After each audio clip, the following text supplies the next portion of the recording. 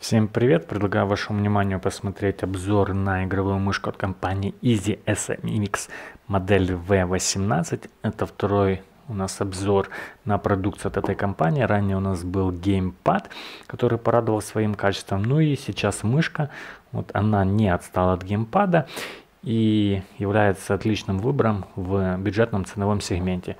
Вот такая коробка, вот как бы с плотного картона, стандартно в середине инструкция ну, ладно, открывать не буду, китайский, э, там китайский, французский, немецкий язык, ну, как бы стандартно. Мышка сама у нас легкая, удобная конструкция, сделана из пластика, сверху soft touch покрытием, вот по бокам перфорированные вставки с такими пупырышками, вот. то есть сделана под правую руку, вот. есть ступенька под большой палец, а с правой стороны тоже такие впуклости, выпуклости под палец. Ну, то есть, когда вы так вот держите, очень комфортно, рука лежит на мышке.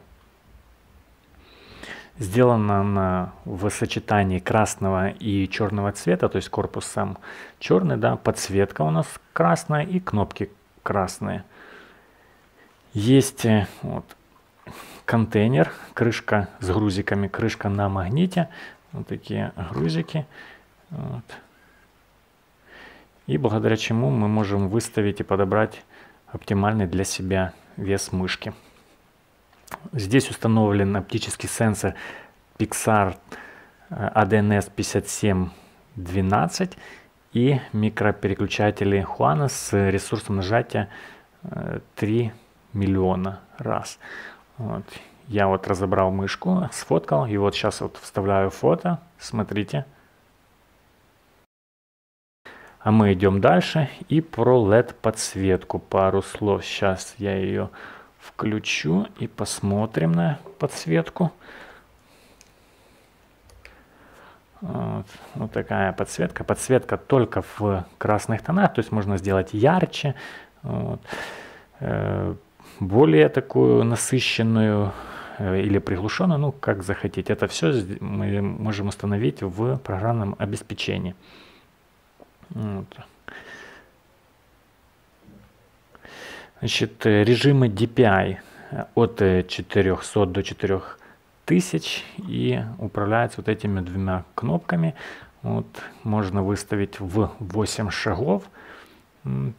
Опять-таки это тоже все делается в программном обеспечении, которое можно скачать с официального сайта и там переопределить кнопки, установить макросы, вот, DPI, ну и в принципе классический набор э, настроек. Давайте я все-таки отключу, чтобы не так ярко было. Всего у мышки у нас 9 э, кнопок. Вот такие две боковые дополнительные. Они достаточно большие, хорошо выпуклые и большим пальцем как бы четко нажимаются.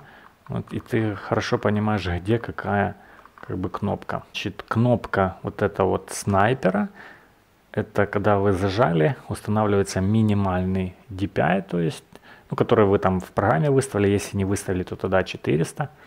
Вот. И пока вы его держите, то тут этот DPI сохраняется, отпустили и возвращается к вашему настроенному стандартному DPI. Э, это кнопка огня, ну, то есть двойной клик на LKM. Что у нас есть? Колесико. Колесико такое прорезиненное, засечки тоже хорошо ощущаются. Ну и шаг, такой э, пошаговая прокрутка и функция нажатия присутствует. По проводу. Провод стандартный, как для таких мышек. Вот есть вот вывод провода.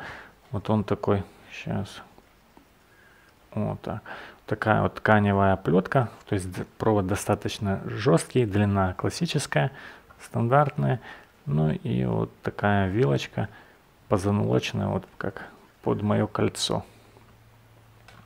Делаем выводы, как бы у меня э, были похожие мышки, это и в, примерно в такой же цене, это Zealot T60 и что еще, Amotospeed V18, она, по-моему, чуть-чуть подороже. Вот. То есть, в принципе, как бы данная мышка, все они сделаны нормально, вот, но данная мышка, мне кажется, она немножко выигрывает из этих трех моделей. Я поигрался как бы в Quake, играю еще StarCraft первый. Вот, то есть во время игры никаких багов таких не заметил. На этом я буду заканчивать. Вот, палец кверху, если вам видео было полезно. Подписывайтесь на канал. Захотите приобрести данный девайс, заходите по ссылкам в описании. Спасибо, что досмотрели видос до конца. До скорых встреч!